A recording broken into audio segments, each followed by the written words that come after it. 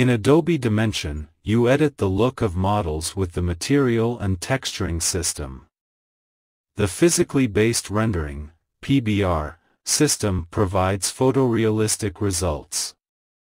Adobe Dimension has features for applying, editing, and linking materials in the scene. Dimension's material shading system is based on the Adobe Standard Material ASM, definition. ASM is used for shaders across Adobe apps to provide consistent high-quality material representation. The Adobe Standard Material represents rich material properties like metallic, roughness, translucency, subsurface scattering, coat, sheen, and more. How to apply materials to objects. Drag and drop materials onto objects to apply them. You can apply materials to single objects or select many objects before applying. Use materials from the starter assets, Creative Cloud libraries, or import your own. Changing a material to another on an asset by drag and drop. Apply materials to models to change their appearance. How to edit material properties. Each object displays a list of the materials assigned to it in Properties Panel Material section. Use the material list to select and edit each material. The material's properties can be used to modify the appearance of a material. Use Material section to access and edit materials per object. Non-parametric materials will show the Adobe Standard Material Shader properties. You can edit values like color and roughness. Some properties can also use textures to control the values. Substance materials expose custom properties that are different per material. These generate textures and values, like color and roughness, which control the shader. Properties controlled by the material are not available for editing. Substance materials are parametric and have unique properties defined by the author.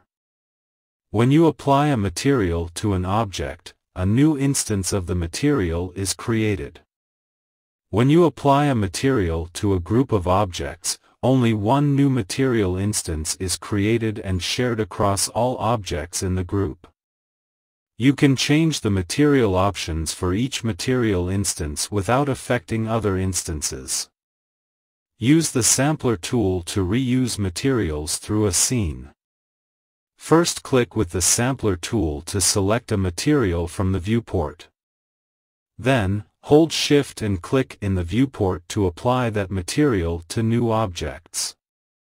Use the sampler tool to sample and reuse materials through a scene. Editing materials used on multiple objects will affect all objects using that material. Use unlink material to disconnect a material from other objects. Import objects with materials. Many models have materials made for them. For model formats that support it, Dimension will import materials and textures at the same time. When importing a model without materials, Dimension will use the default material. You can also import models which are already textured. Models import with textures when available with the model.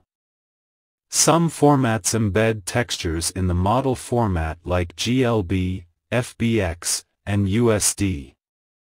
Other formats may have textures in the same folder as the model. Add images as material layers.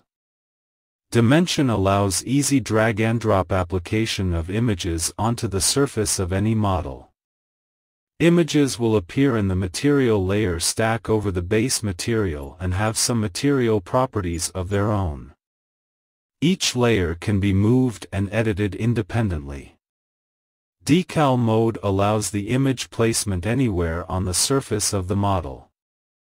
Fill mode will place the image in UV 0 to 1 space with tiling and transform controls.